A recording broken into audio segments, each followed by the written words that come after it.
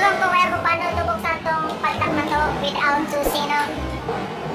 Shoutout kay Joseph, tsaka kay ano, kay Milo. Okay, so simulan natin buksan. Step 1. Pag ganito yung ano, hilahin natin. So what's this? Hilahin natin pag ganito. Okay, 1, 2, 3, go. Oh, okay, ganyan.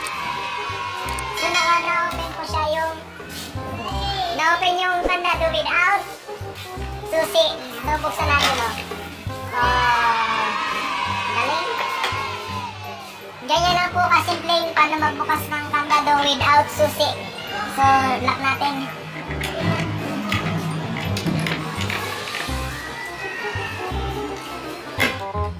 Oh, ganyan lang.